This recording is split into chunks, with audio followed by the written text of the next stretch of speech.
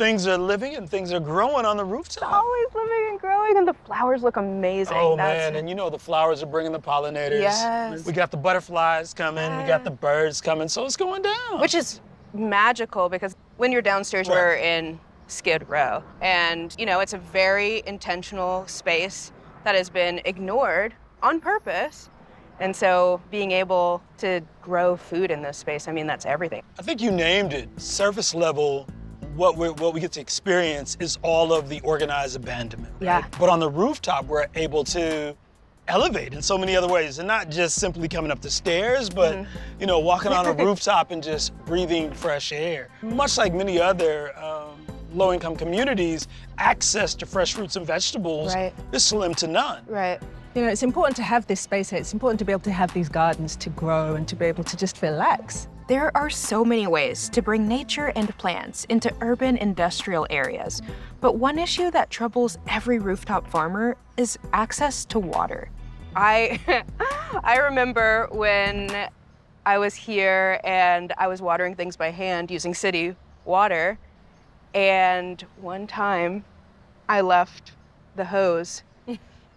Oh, so now you tell. That was the bill that I was like, what happened? This is the high water bill. But but I have these friends, they have a similar setup. Now they're really focused on trying to figure out how to bring water to their garden in a way that isn't going to drive their water bill through the roof.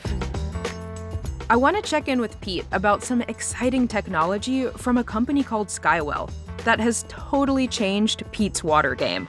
As long as there's 27% relative humidity in the air, this large machine creates 100 gallons of water per night, right? And so when you're in a, when you're in a region like Los Angeles that's, you know, adjacent to the ocean, there's always going to be at least ah. 27% relative humidity in the air. Okay. And so we built a reservoir and we just started using water from the clouds to actually feed our gardens.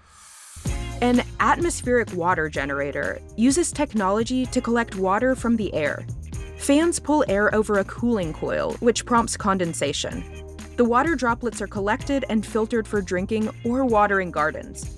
The collected water can be stored in a reservoir and hooked up to a drip irrigation system that's set on a timer.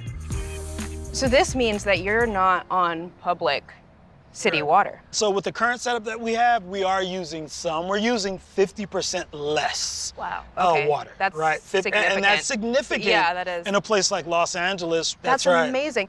My friends at Bluma, they are just pumping their water from a lower level up to their rooftop farm.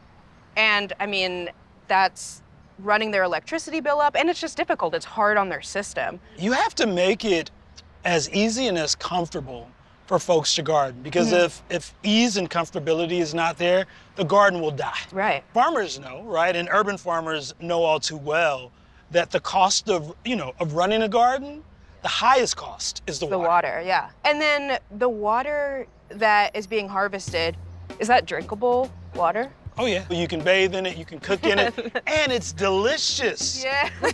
yes.